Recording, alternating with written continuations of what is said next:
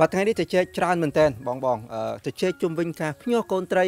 ទៅជែកជុំវិញការចិញ្ចឹមត្រីសាច់ចិញ្ចែកជុំវិញការចិញ្ចឹមត្រីម្ដែងកូនត្រីម្ដែងរួមទាំងធ្លារហូតដល់ទៅជែកជុំវិញសត្វដែលអាចលោតផ្លោះរបងគឺសត្វកង្កែបកង្កែបកង្កែបអូបអូបយំក្នុងបឹងជាកង្កែបមួយ ដែលយើងតែងតែគិតថាជាកង្កែបធម្មជាតិញ៉ាំទៅមានសុខភាពល្អមិនមានផលប៉ះពាល់ទៅដល់សុខភាពរបស់យើងក៏ប៉ុន្តែសម្រាប់បច្ចុប្បន្នភាពនៃការវិវត្តក្នុងការរស់នៅមិនថាមនុស្សឬសត្វទេជាពិសេសគឺការផ្គត់ផ្គង់ទីផ្សារហ្នឹងឯងយើងនិយាយអំពីក្នុងស្រះរហូតដល់តុអាហារគឺទៀមទាមានបច្ចេកទេសចិញ្ចឹមល្អប្រសើរហើយទៅនោះទៀតសោតបើសិនជាបច្ចេកទេសនៃការចិញ្ចឹមមានភាពល្អប្រសើរហើយមានការថែទាំត្រឹមត្រូវសំណួរសួរថាតើមានផលប៉ះពាល់មកពីណាចំពោះបញ្ហាសុខភាពរបស់យើងនៅពេលយើងទទួលទានប្រហែលជាខ្ញុំអាចជួយឆ្លើយជំនួសបងបងអរគ្នាថាវាមិនមានផលប៉ះពាល់ចំពោះសុខភាពទេអន្ទឹមនឹងទៀតសោតសម្រាប់ការចិញ្ចឹមនៅក្នុងស្រុកដែលយើងឲ្យឈ្មោះថាផលិតផលក្នុងស្រុក domestic product វាបានចូលរួមចំណែកមិនត្រឹមតែគាំពៀនឹងលើកទឹកចិត្តឲ្យប្រជាកសិករគាត់យល់អំពីតម្លៃនៃវារីវប្បកម្មទេ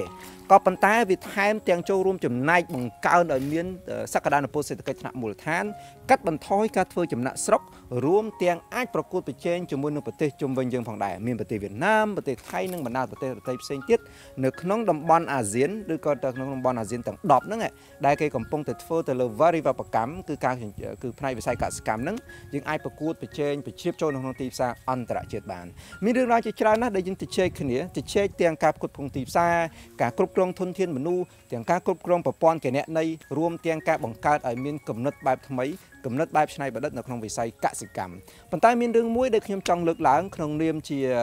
អ្នកធ្វើការនៅក្នុងវិស័យសព័ត៌មានផ្នែកចំនួនផ្នែករកស៊ីហើយនិងផ្នែកកសិកម្មរួមទាំងជាគ្រូបង្គោលដែលចូលរួមមកបណ្ដុះបណ្ដាប្រជាកសិករនៅតាមបណ្ដាខេត្តទាំង5នៅក្នុងប្រទេសកម្ពុជាយើងមានខេត្តកំពង់ចាមកំពង់ធំសៀមរាបបាត់ដំបងពោធិ៍សាត់ជាដើមគឺខ្ញុំបាន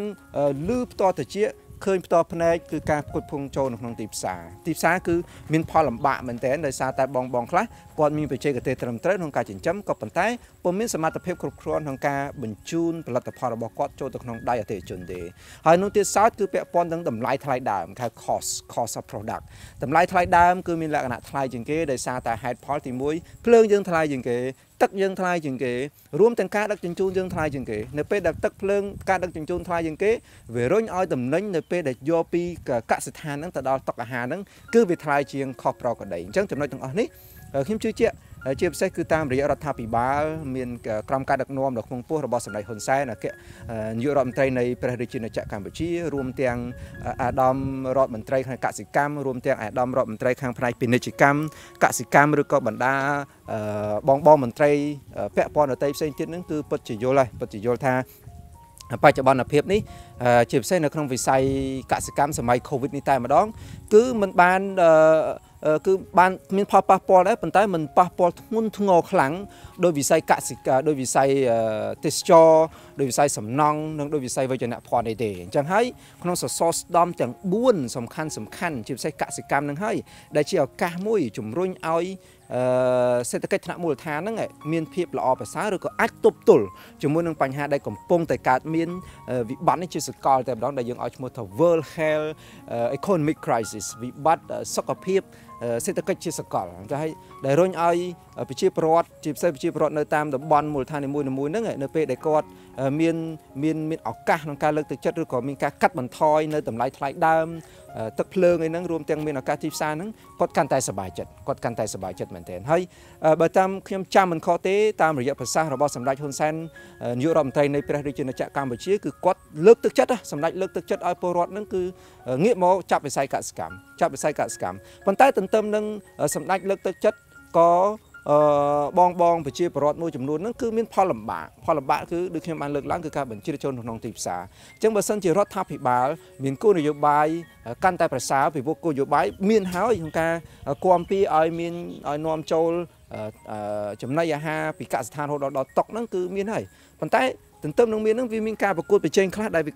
ក្រិតឲ្យសមត្ថភាពដែលយើងមានកម្រិតហ្នឹងគឺมันអាចប្រកួតជាមួយគេបានអញ្ចឹងចំណុចនេះរឿងខ្លះគាត់ ប្រកែតែរឿងបច្ចេកទេសប៉ុន្តែពាក់ព័ន្ធទៅនឹងការរុះរកទីផ្សារឬការទប់ស្កាត់មួយចំនួនគឺពឹងទៅលើអ្នកដែលមានសមត្ថភាពលើសគាត់គឺលើសបងបងប្រជាកសិករនឹងតែម្ដងជារួមខ្លីមកវិញខ្ញុំគ្រាន់តែជាការលើកឡើង ជាជាគំនិតជាបទពិសោធន៍ ក្នុងនាមដែលយើងចុះមកដល់មូលដ្ឋានផ្ដិតយកទស្សនវិជ្ជាជំវិញការធ្វើវារីវប្បកម្មចំនួនវារីវប្បកម្មការចិញ្ចឹមត្រីជាភ្ញាស់កូនត្រីចិញ្ចឹមកង្កែបជាដើមដើម្បីផ្គត់ផ្គង់ទីផ្សារហ្នឹងគឺសូមរដ្ឋាភិបាលបន្ថែមការយកចិត្តទុកដាក់ឬក៏រកឱកាសទីផ្សារថ្មីថ្មីបានកាន់តែច្រើនសម្រាប់វិជាកសិករ ហើយអាចពិចារណាជំវិញការបញ្ចុះតម្លៃថ្លៃភ្លើងពិចារណាជំវិញការបង្កើតប្រព័ន្ធធារាសាស្ត្រឲ្យកាន់តែល្អប្រសើរដើម្បីផ្គត់ផ្គង់ទឹកឲ្យមានគ្រប់រដូវកាលមិនថារដូវប្រាំងឬរដូវវស្សារួមទាំងបណ្ដុះបណ្ដាលបន្ថែមទៅលើបច្ចេកទេសរួមទាំងការបណ្ដុះបណ្ដាលបន្ថែមទៅលើកັບការគ្រប់គ្រងប្រព័ន្ធហិរញ្ញវត្ថុធ្វើយ៉ាងណាដើម្បីឲ្យចំណូលចំណាយនិងប្រាក់ចំណេញនឹងមានភាពច្បាស់លាស់ហើយអាចបង្វិលដើមទុននឹងត្រឡប់ទៅកាន់ស្ថាប័នពាក់ព័ន្ធមួយចំនួនដែលផ្ដល់កម្ចីមានជាពិសេសគឺប្រព័ន្ធធនាគារនឹងមានភាពល្អប្រសើរវិញទៅមកសង្វាក់ផលិតកម្មដើរល្អប្រសើរនោះរុញឲ្យសេដ្ឋកិច្ចរបស់យើងនឹងជាពិសេសវិស័យកសិកម្មកាន់តែមានភាពល្អប្រសើរបាទអរគុណច្រើនសម្រាប់បងបងដែលទស្សនានៅវីដេអូនេះសូមអរគុណច្រើនចំពោះអាដាមរដ្ឋមន្ត្រីកសិកម្មអាដាមរដ្ឋមន្ត្រីក្រសួង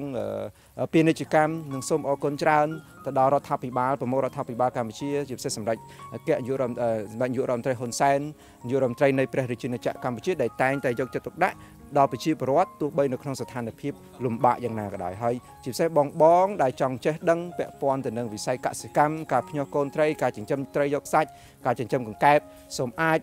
មកទស្សនាផ្ទាល់នៅកសិដ្ឋានរដ្ឋថាដាហើយនឹងអាចជួបពិភាក្សាផ្ទាល់ជាមួយបងស្រីយ៉ាដាដែលជាអនុប្រធានសមាគមវារីវប្បកម្មកម្ពុជាពីនេះខ្ញុំបាទសេរីមនីពី ABS SME Video សូមអរគុណសូមជម្រាបលាបាទ